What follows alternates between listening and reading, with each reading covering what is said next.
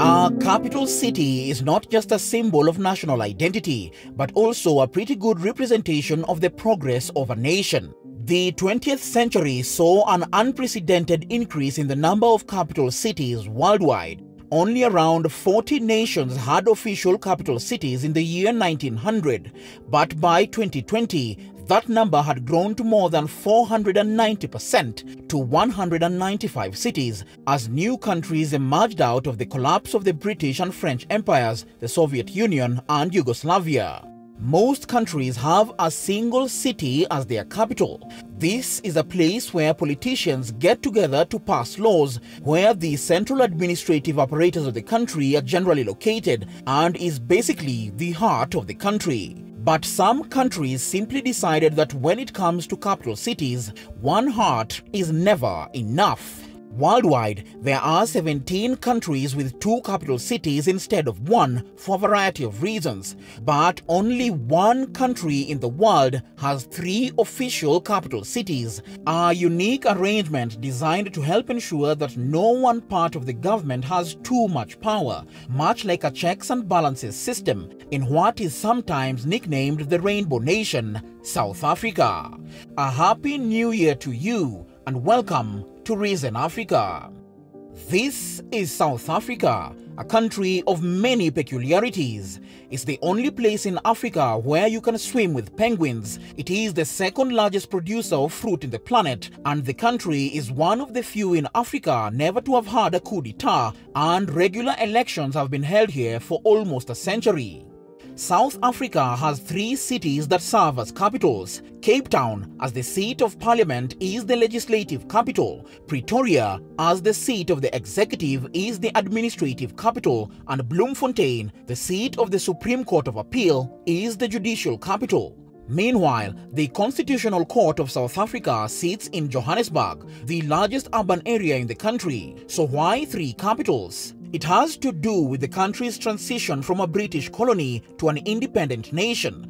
While Canada and Australia remained federations after colonization, each previous colonial province kept some autonomy. South Africa, which consisted of four traditional colonies, Cape Province, Natal, the Orange River Colony, and Transvaal, became a single unitary state. And so in 1910, when the Union of South Africa was formed, there was a great dispute about the location of the new country's capital city. Conclusions from negotiations between the British Empire and the defeated Boer republics that ended the Second Anglo-Boer War and created the new country were these three capitals. The logic to spread the balance of power throughout the country. Both Bloemfontein and Pretoria were capital cities of traditional Boer provinces, Bloemfontein was the capital of the Orange Free State in 1854 and Pretoria was the capital of Transvaal. Bloemfontein is located in the center of South Africa, so it was logical to place the judicial branch of government in this location. The name comes from a Dutch word for fountain of flowers. The city hosted the Bloemfontein Conference in 1899, which was an attempt to prevent the Second Boer War. Pretoria had long been the home to foreign embassies and governmental departments. It was here that the peace treaty that ended the First Boer War was signed, but eventually the capital surrendered to the British during the Second Boer War in 1900. Its location near Johannesburg, a center of commerce at the heart of the populous Gauteng province, also made it a convenient location. Cape Town has always played an extremely important role in the country's history. From the late 1500s, the Cape Town area was a crucial stopover on the spice trade route and by the 1650s, the Dutch East India Company had used the area to establish a shipway station. Also known as the Mother City, it was the capital of the British Cape Province since 1814. Today, each of these cities has its charms.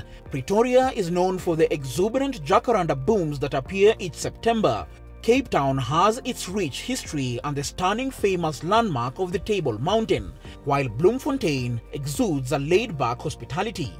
The United Nations recognizes all three capitals. At the time of South Africa's 1994 transition to a non-racial democracy, there were proposals to consolidate all functions of government in Pretoria, or alternatively, to build an altogether new capital city following the model of Washington, D.C. in the United States, Canberra in Australia, or Brasilia in Brazil. The idea was especially popular within the governing African National Congress Party.